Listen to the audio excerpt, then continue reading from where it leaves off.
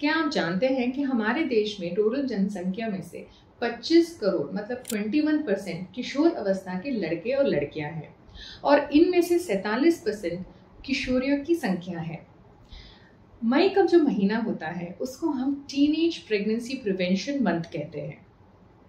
नमस्कार, मैं डॉक्टर शीतल दयाल, मैं एक प्रैक्टिसिंग गायनेकोलॉजिस्ट हूँ, इटारसी नर्मदापुरम में। मई सिक्स को national teen pregnancy prevention day के तौर पे मनाया जाता है। लेकिन क्यों? ताकि हम आम जनता को टीनेज प्रेगनेंसी के बारे में जागरूक कर पाए। So what is teenage pregnancy pregnancy जब 19 वर्ष या उससे कम में होती है, उसको टीनेज प्रेगनेंसी कहते हैं। क्या आप जानते हैं कि इंडिया में हर साल जितना परसेंटेज प्रेगनेंसीज होती हैं ईयरली उसमें से 9 percent adolescent teen age pregnancy होती है मतलब 15 से 19 साल के बीच में प्रेगनेंसी होती है। मतलब उस उम्र में जहाँ पे एक बच्ची को या लड़की को अपना एजुकेशन देखना है, अपना वर्किंग देखना है, उसमें वो बर्डन हो जाती है प्रेगनेंसी और एक बच्चे की रिस्पॉन्सिबिलिटी के साथ। अब देखते हैं कि टीनेज प्रेगनेंसी के कॉजेज क्या होते हैं। अक्सर ये एक्सीडेंटल होती हैं, क्योंकि सेफ़ सेक्स प्रैक्टिसेस के बारे में उनको पता ही नहीं होता। चाइल्ड मैरिज एबॉलिश होने के बावजूद बहुत सारे स्टेट्स आज भी चाइल्ड मैरिज एक्ट को फॉलो नहीं करते हैं एंड चाइल्ड मैरिज जैसे प्रैक्टिसेस अभी भी लागू हैं। Third forceful intercourse and sexual abuse अब देखते हैं टीन प्रेगनेंसी के क्या असर होते हैं माँ पे और बच्चे पे। There is an increase incidence of preeclampsia मतलब प्रेगनेंसी में बीपी हाई होना। इसलिए ये automatically high risk category pregnancies में आ जाते हैं। इंसिडेंस ऑफ़ एनीमिया खून की कमी होना अनसेफ एबॉर्शंस एबॉर्शंस अगर सही तरीके से नहीं किया गया हो या सही सेंटर पे नहीं किया गया हो या गायनाकोलॉजिस्ट के द्वारा नहीं किया गया हो तो यूट्रस में इन्फेक्शन एंड ब्लड में इन्फेक्शन हो सकता है, जिससे इनको जान की खतरा हो सकता है।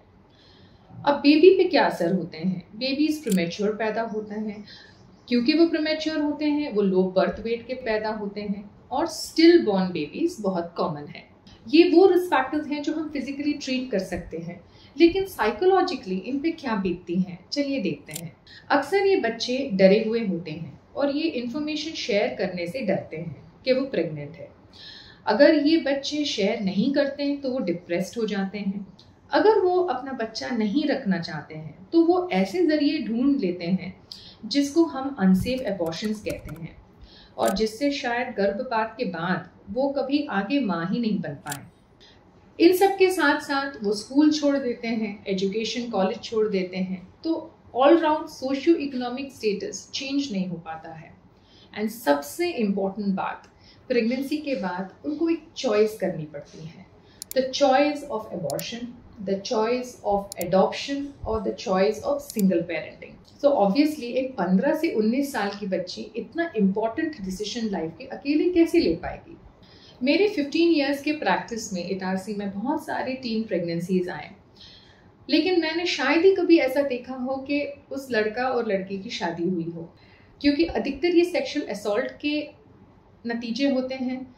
एंड हमारे कंट्री में लेस देन 18 इयर्स में शादी तो हो ही नहीं सकती क्योंकि ये अपराध है। इसलिए ये लोग एबॉर्शन ज़्यादा प्रेफर करते हैं। अगर इन लोगों को एडॉप्शन करवाना भी है, उनको ये समझ में नहीं आता है कि वो कौन सी रूट में जाए।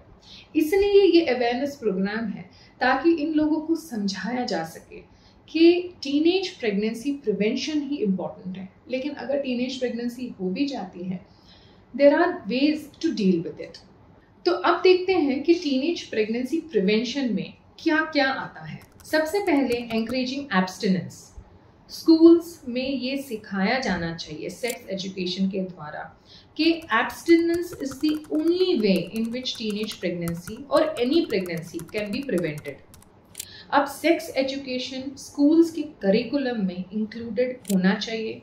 वो इसलिए होना चाहिए क्योंकि जो बातें बच्चे अपने माँ बाप के सामने खुल के नहीं पूछ सकते हैं, वो टीचर्स के द्वारा अपने डाउट्स क्लियर कर सकते हैं।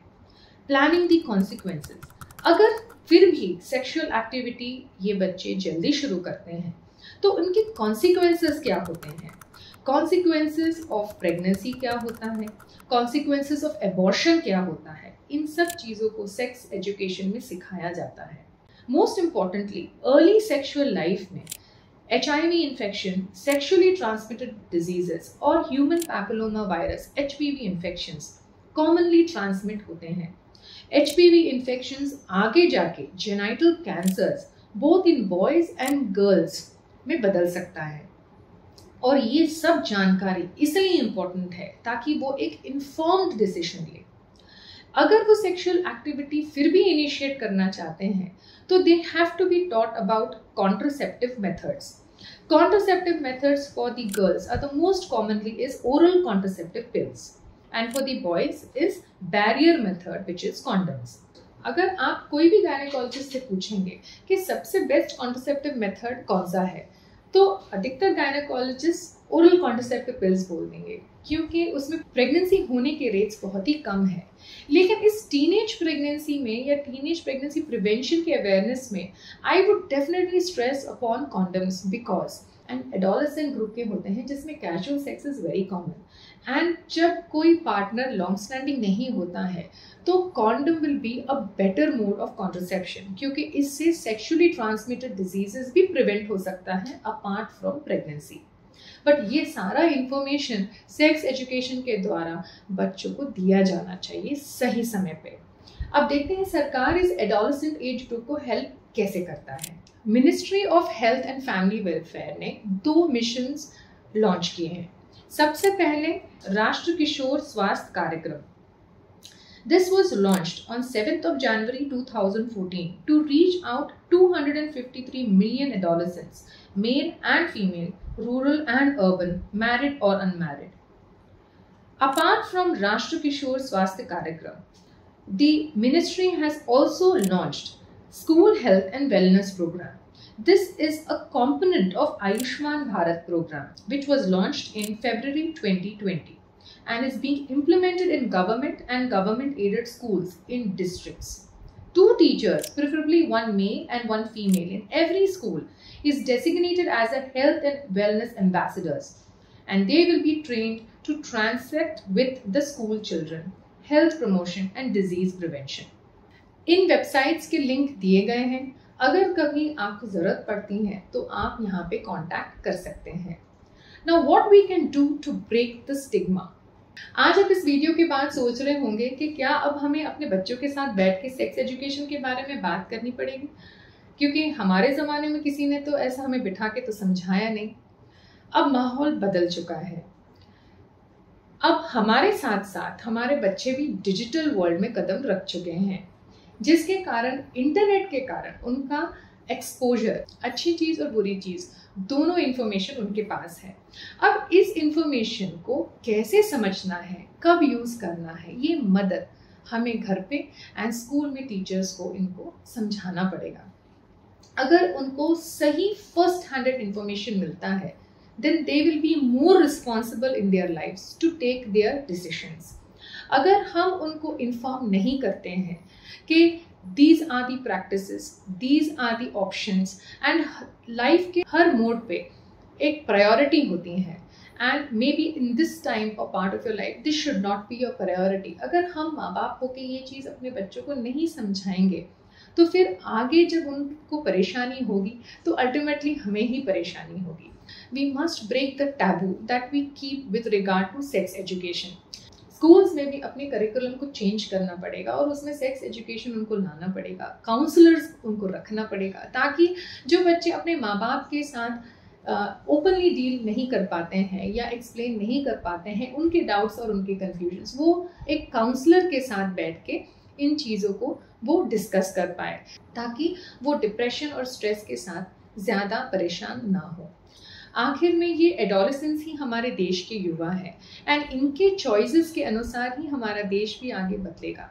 इसलिए मैं चाहती हूँ कि आप इस वीडियो को ज़्यादा से ज़्यादा शेयर करें, ताकि और माँ बाप सेक्स एजुकेशन के बारे में समझें और अपने बच्चों को इसके प्रति जागरूक करें। धन्यवाद।